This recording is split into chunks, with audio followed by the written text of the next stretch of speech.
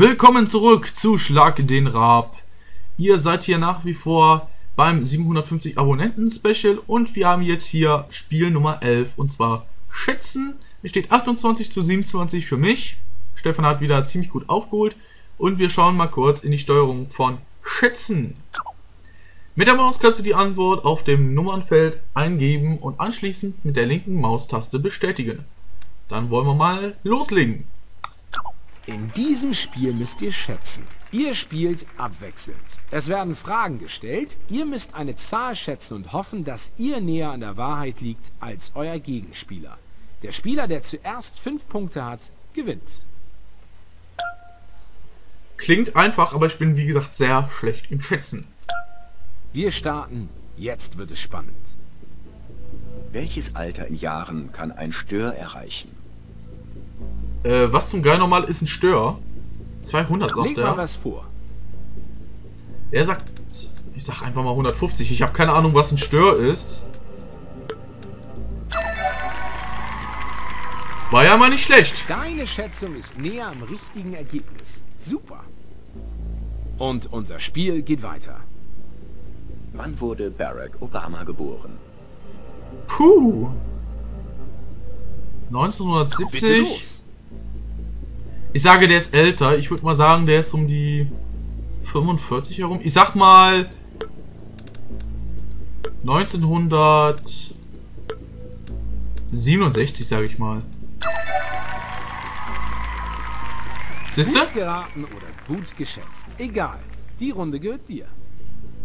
Dann machen wir mal voran. Okay, Barack Obama ist über Wie 50. viele Spieler einer Mannschaft befinden sich beim Wasserball gleichzeitig im Becken? Ähm, einer Mannschaft. Fünf würde ich mal sagen. Los, zeig's uns. Ich kenne mich mit Wasserballen natürlich nicht aus. Er sagt auch fünf. Bei Gleichstand gibt es keine Punkte. Okay. Obacht, wir machen weiter. Hätte ich nicht gedacht. Wie viele Oscars gewann Vom Winde verweht? Oh Gott, wie viele er hat. Oh Gott. Nun Zwölf. darfst du ran. Ich sage, der hat neun. Komm. Ja, acht. Okay. Ich schätze, der Punkt geht an dich. Oh, meine Nerven. Und munter weiter. Wie groß ist Deutschland in Quadratkilometern? Oh, Leute. Macht mir hier jetzt nicht auch noch was. Wir warten gespannt auf dich. Er sagt 420.000. Ich sag da mal 480.000.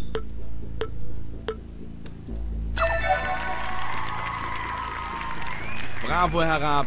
Gut geschätzt. Ich schätze es, wenn Sie das sagen.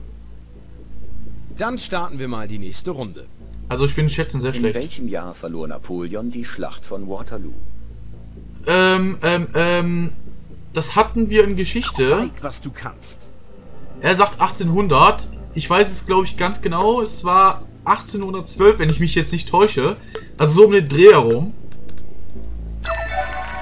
Ja, 1815. Da hast du mitgedacht. Ein Punkt mehr auf deinem Konto. Nö, nö, nicht mitgedacht, wir aber gewusst. dann mal fröhlich weiter. Ich hab ja gewusst. Wie viele Turnierfußballfelder hätten hintereinander auf die Titanic gepasst? Was? Ich sag einfach mal 6. Das ist so schlecht zu schätzen, weil man nicht weiß, wie groß, ein, wie groß die Titanic jetzt war. Bereit? Er sagt 3. Klasse, Okay. Stefan. Du hast ein gutes Gespür. Ich bin ein Bluthund und rieche Punkte. Da würde ich mich schwer tun. Ich brauch Aber eh- gut. Ich brauche nur noch einen Wie viele Punkt. Tore schoss Deutschland bei der WM 2002 gegen Saudi-Arabien? Das habe ich geschaut, es waren 8. Das waren 8. Das habe ich geschaut. Nein, Na 8. dann mach mal. Äh, ich glaube, das war 8 zu 0 oder 8 zu 1 gewesen. Irgendwas um den Dreh herum. Aber wir haben auf jeden Fall 8 Tore bekommen. Das war exakt. Ich bin sprachlos. Naja, nicht ganz sprachlos. Ich habe es wie gesagt geschaut. Ich glaube, damit ist es klar, du hast Schätzen gewonnen.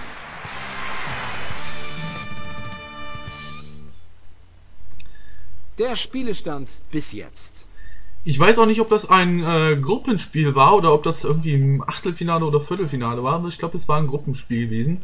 Jetzt auf jeden Fall steht es 39 zu 27 für mich und ich bin gespannt, was Spiel Nummer 12 für uns vorbereitet hat. Spiel 12. Air Hockey. Air Hockey, das ist doch bitte nicht das, was ich gerade denke, oder? Bewege den Schläger mit den WASD-Tasten Spieler 1 bzw. mit den Pfeiltasten Spieler 2. Ja, ich würde liebend gerne die äh, Pfeiltasten haben, aber mit WASD geht's auch. Nun wollen wir Hockey spielen, allerdings die Luftvariante. Oh Gott. Ihr sollt mit einem Schläger den Puck auf dem Spielfeld hin und her schlagen, bis er im Tor eines Spielers landet. Wer nach zwei Minuten mehr Tore erzielt hat, gewinnt das Spiel. Ich habe das Spiel noch nie gemocht, muss ich ganz ehrlich sagen. Seid ihr bereit? Dann los. Oh Gott. So, du zeigst uns jetzt mal, wie es funktioniert. Zwei Minuten lang, ja? Oh Gott. Oh, meine Güte. Den Punkt hast du versemmelt, Stefan. Aber wie? Das ärgert. So, Zeit ist deinem Gegner heimzuzahlen. Also ich muss ganz ehrlich sagen, mit den Pfeiltasten, Das ist mir jetzt unangenehm. was ist mit dem los? Stefan. Na dann mal hurtig weiter. Äh, also was ich sagen wollte, das mit der Tastatur, das ist sowas von eine schlechte Steuerung. Der Punkt geht an deinen Gegner, Stefan. Ich brauche den Punkt ja nicht so dringend. Hier ein neuer Puck. Er braucht den Punkt ja nicht so dringend. Es sind ja nur zwölf Punkte und er liegt im Rückstand, ne? Was war das? Sowas bin ich von dir nicht gewohnt, Stefan. Okay, langsam, Stefan. Nach diesem Tor kommt hoffentlich die Revanche. langsam mag ich das Spiel dann doch.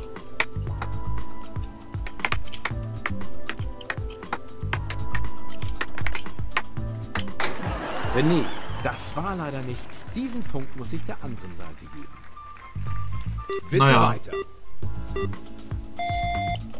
Also das mit der... Das tat weh. Darum zählt der Punkt für dein Gegenüber. Mach mal. So, der Punkt bleibt jetzt so lange auf meiner Seite, wie es nur geht. Und zwar... Mit den Pfeiltasten ist das so grauenhaft. Also äh, der Schläger, der bewegt sich echt so grauenhaft schlecht. Tor! Super. Und du darfst beginnen. Und trotz der miserablen Steuerung lässt sich dieses Game hier doch recht einfach spielen. Schiebe die Scheibe.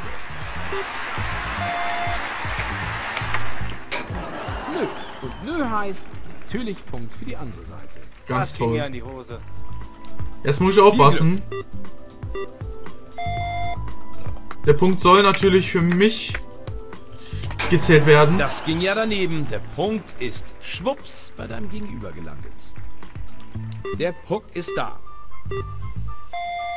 Äh, ich sagte eben was mit dem Spiel, dass ich das mögen würde. So langsam wieder. Äh, nein. Ich hasse es, wie gesagt. René, ein schönes Spiel. Stefan, den hast du versenkt. Dann schieb mal an. Ich will das gewinnen! Nee, nein. Er wird es nicht gewinnen. Schön gespielt. Stefan, die Scheibe liegt da. Ich lasse mir das hier doch nicht gefallen. Stefan versagt, Punkt für die andere Seite. Zeig mal etwas Ehrgeiz. Also ich bin über das Spiel einfach nur wütend. Ich hasse es, wie gesagt. Ich hasse es im echten Leben. Ich hasse es hier bei Schlag den Raab. Also, Das gibt einen Punkt. Fängst an. das Spiel macht mich auch gerade so mega aggro, muss ich gerade sagen. Oh Gott, ey. Diese schöne Pfeiltastenkombination. Stefan, den Punkt bekommt dein Gegenüber. So, Zeit ist deinem Gegner heimzuzahlen. Also wir sind beide gleich schlecht, würde ich mal so ganz ehrlich sagen. Aber wie gesagt, mit den Pfeiltasten, das ist auch... Das ging in die Hose. Punkt für die andere Seite. Das mit den Pfeiltasten ist so hurtig weiter. Und den Moderator, den bringe ich gleich noch um. Das schwöre ich euch. Wie der mir immer reinspricht. Aber das mit den Pfeiltasten ist auch so grauenhaft. Das Spiel macht mich echt aggro! Tut mir leid, wenn ich das jetzt so schreien musste, aber Tor! Hier ein neuer Pfiff. Also versteht mich, aber ich würde gerne das Spiel. Oh, ich würde es so gern gewinnen, aber es ist einfach so ein Scheißspiel. Tut mir leid.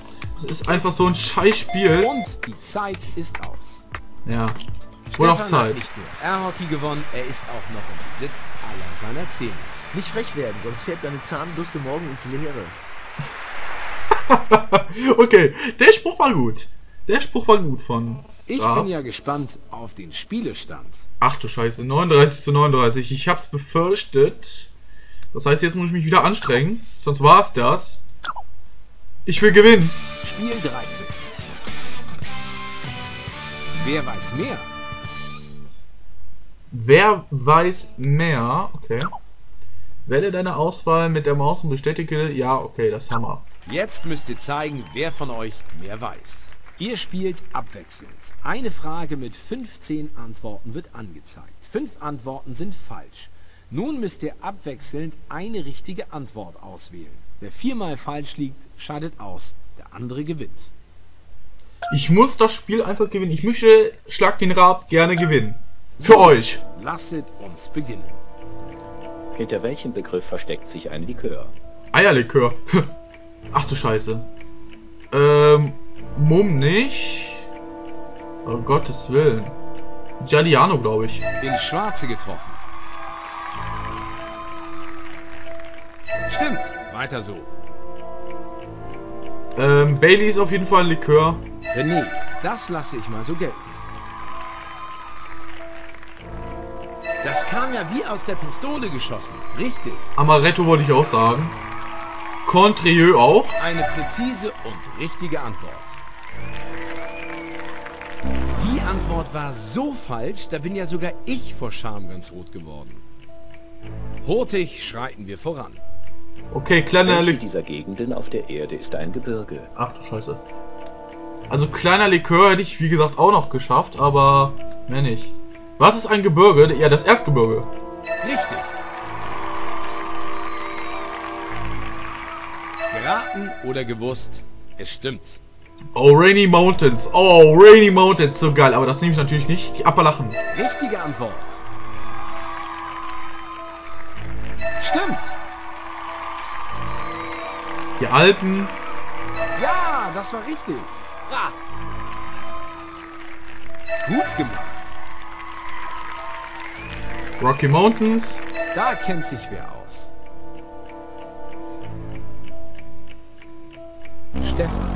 So kann ich das nicht gelten lassen. Was wollte ich? Ach ja, Ich muss mir das Lachen gerade verkneifen. Handelt es sich um eine Teesorte? Ich muss mir das Lachen gerade verkneifen. Olga. Weißer Tee natürlich. Super. Weiter so. Äh, Punjab ist glaube ich auch ein Tee. Meilenweit Nicht? an der richtigen Okay. Antwort vorbei. Das wird euch gefallen. Welche Fußballer spielten zur WM 2006 in der deutschen Nationalmannschaft? Ach, das ist easy. Das weiß ich. Das weiß ich. Wie in der Schule, leider ungenügend. Was? Achtung, es geht weiter. Warum hat er... Wer war ein berühmter Komponist klassischer Musik? Also da stand Abhol Breitner. Breitner, nein. Und Bertie Woods, wenn er das gewählt hätte... Er hat ein Lied damals gemacht, in den 90ern. Das hieß Birdie Woods. Ich hätte mich totgedacht, wenn er das genommen hätte. Was war ein berühmter Komponist klassischer Musik? Mozart. Bravo, richtig.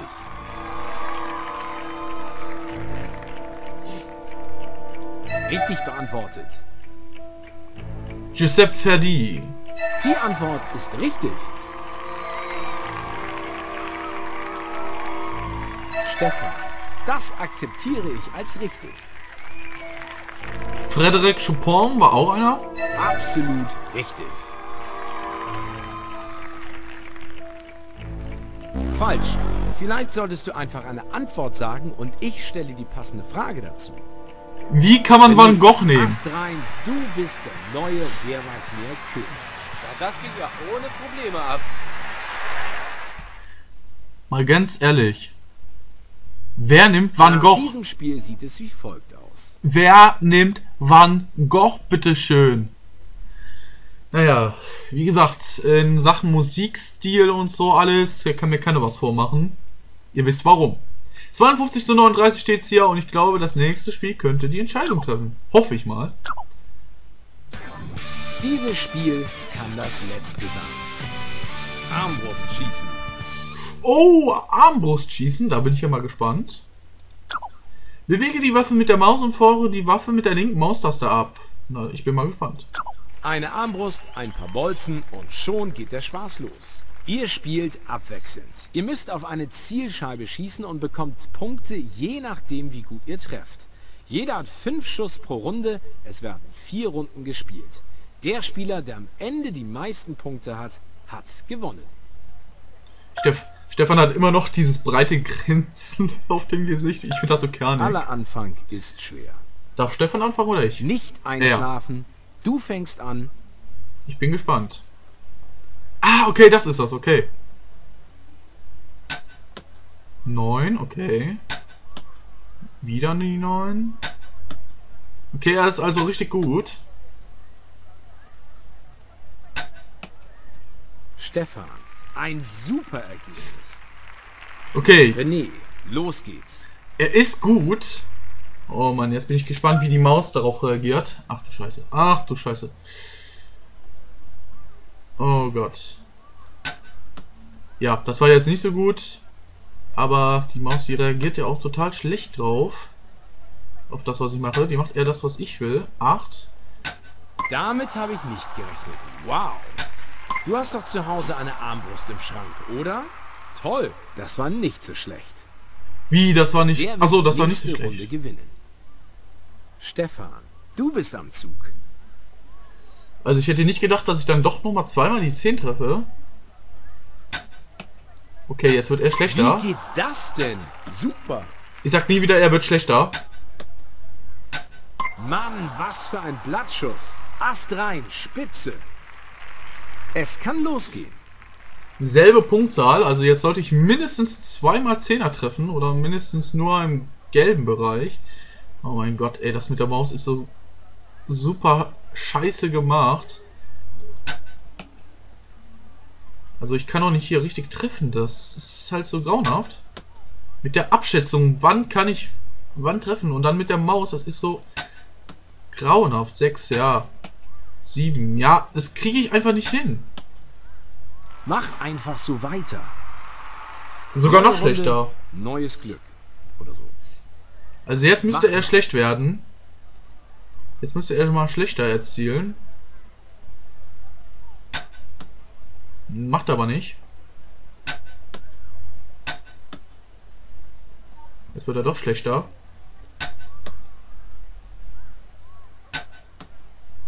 Stefan, sehr schön. Das war nicht schlecht.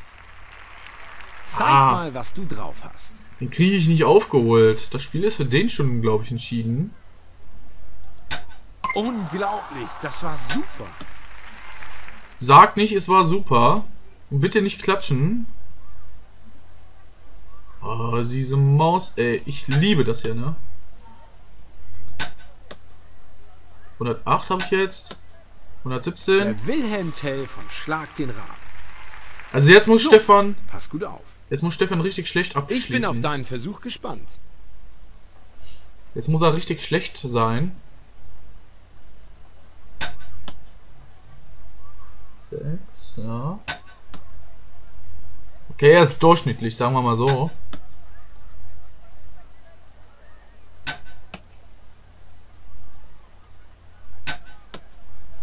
Ich glaube, du hast heimlich geübt. Dein Zug. Viel Glück. Das kriege ich nicht mehr aufgeholt, das sehe ich jetzt schon.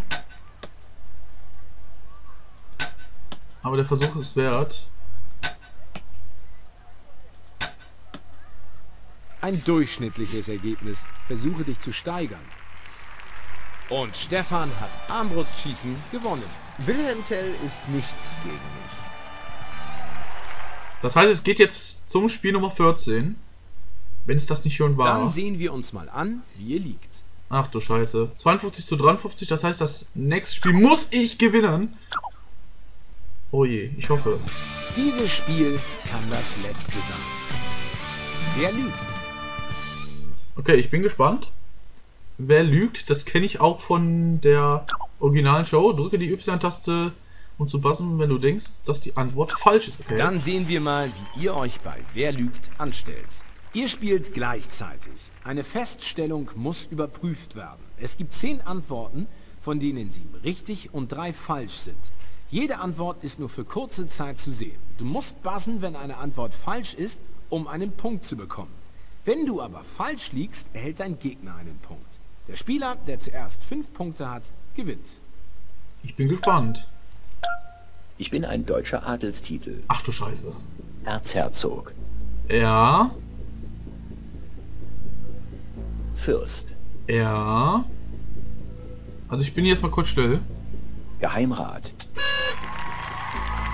Die Runde ging an dich. Da fällt mir ein Stein vom Herzen. Es geht weiter. Sehr aufregend.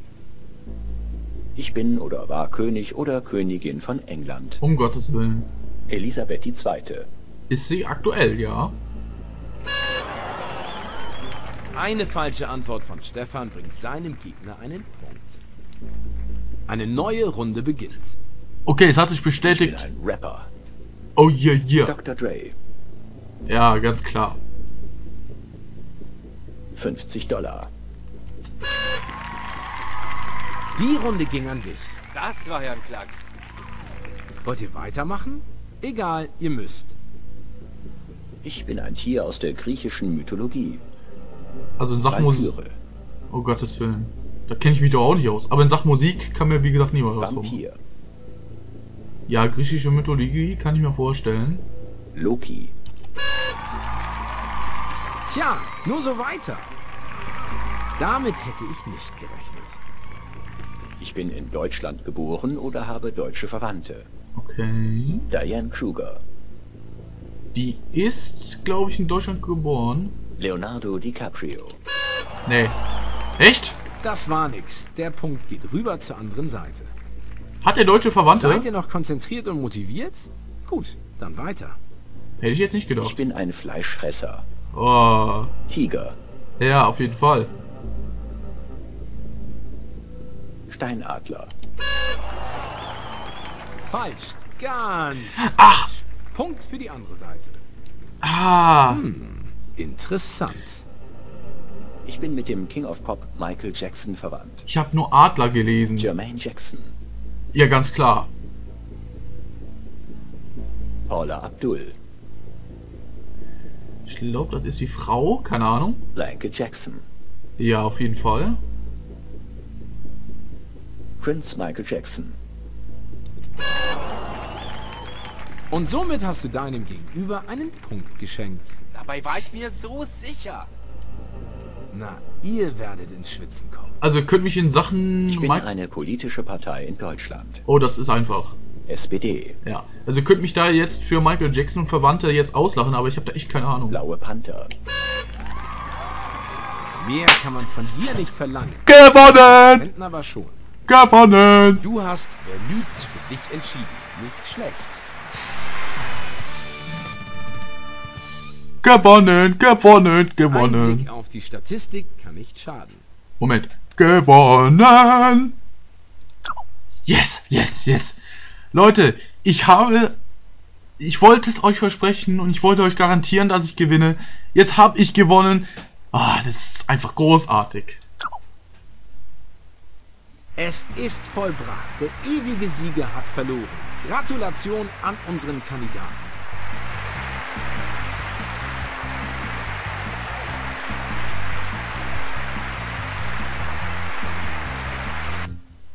Yes!